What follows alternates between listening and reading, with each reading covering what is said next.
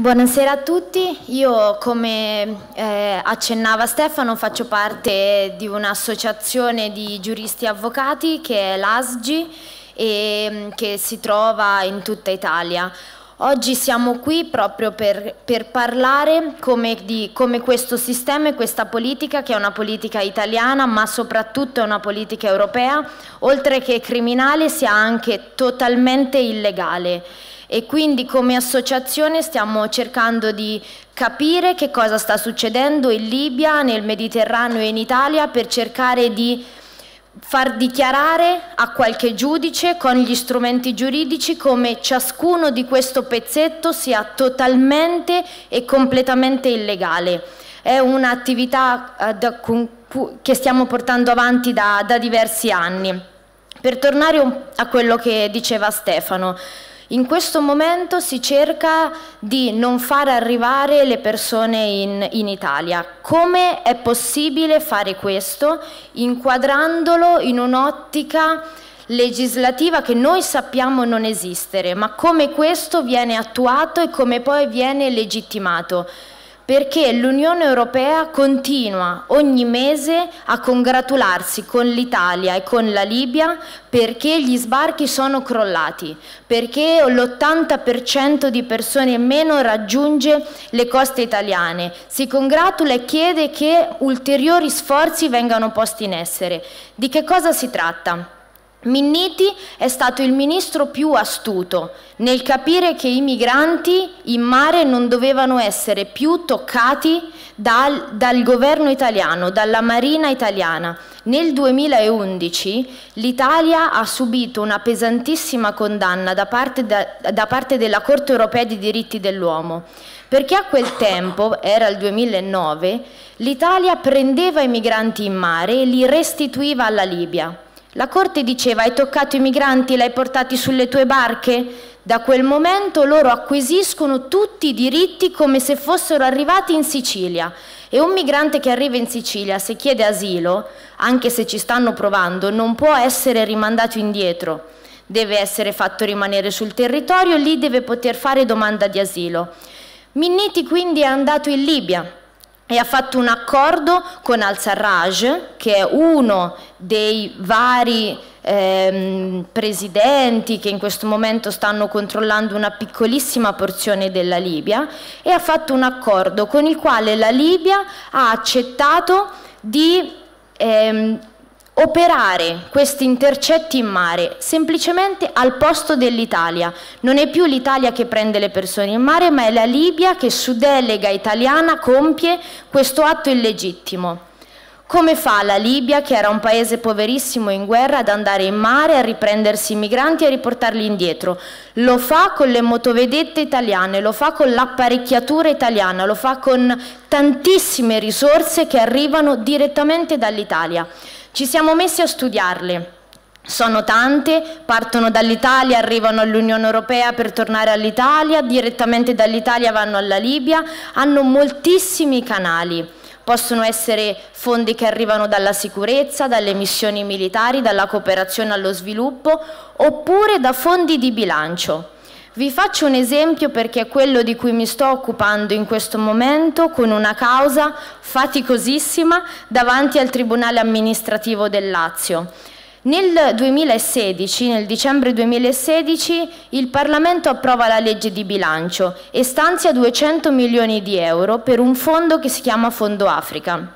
All'interno di questo fondo ci sono moltissimi progetti che devono essere finanziati, soprattutto nei paesi di transito e nei paesi di soprattutto nei paesi di transito, diciamo, Niger e Libia, perché all'Europa importano i paesi di transito. I paesi di origine servono solo per bloccare i migranti in partenza, ma quelli focali sono quelli di transito, paesi poverissimi come il Niger e la Libia che devono bloccare i migranti già sulla terraferma. Ora, tra vari progetti vengono finanziati 2 milioni e mezzo di euro che devono servire a rimettere in efficienza quattro motovedette e a formare il personale sopra queste motovedette. Abbiamo cercato di tracciare a che, a che punto sono queste motovedette, sono state Quattro, due di queste sono state date alle autorità libiche con queste motovedette oggi si fanno gli intercetti. L'Unione Europea e l'Italia li chiamano salvataggi, ma i salvataggi che riportano le persone in centri di detenzione chiaramente non sono salvataggi, è una ipocrisia, sono intercetti in mare oppure pullback, cioè respingimenti al contrario. Le, la Libia si riprende i migranti. Stiamo cercando di convincere il TAR che non si possono dare delle motovedette a delle autorità che ogni giorno torturano i migranti, che ogni giorno li sottopongono a trattamenti disumani o degradanti. Per ora non sta andando benissimo, però abbiamo ancora qualche speranza perché moltissime associazioni stanno appunto sostenendo questa nostra azione davanti al TAR. Ma che cosa succede quando una persona viene presa e riportata indietro? L'abbiamo chiesto a questi sette ragazzi che abbiamo incontrato in Gambia. Loro sono arrivati dopo un viaggio lunghissimo in Libia, lì hanno provato a mettersi in mare, dopo tre ore di navigazione hanno chiamato gli MRCC di Roma, che è questo centro di coordinamento di cui ci parlava Riccardo, non hanno ricevuto nessuna risposta se non sì sì stiamo arrivando, solo che dopo un'ora sono arrivati i libici, che li hanno presi e riportati nei centri di detenzione. Attenzione perché il Ministero degli Affari Esteri ci dice che questa operazione è legittima perché in Libia ad aspettarli ci sono le organizzazioni internazionali, OIM e UNHCR, che sembrano i buoni di tutta questa situazione, in realtà legittimano questo sistema. Perché cosa succede? In Libia le persone vengono riportate qui, incontrano le persone delle organizzazioni internazionali. L'UNHCR può contattare solo sette nazionalità nei centri di detenzione in Libia e li riporta in Niger, in Niger dove rimangono in attesa di un possibile reinsediamento in Europa e potrebbero rimanere lì anche anni, perché non ci sono tempi, non è previsto nessun diritto per queste persone. L'OIM le deve riportare a casa, al punto di partenza. Quindi queste persone ci hanno raccontato che stavano 120 tutti in una stessa stanza, è arrivato l'OIM, un signore con una pettorina appunto dove c'era scritto OIM e gli hanno detto chi sono i gambiani? Hanno alzato la mano 70 persone. Uno tra questi ha scritto i loro nomi in un foglio e a lui hanno detto il 17 gennaio parte il tuo aereo, torni a Banjul, vuoi tornare?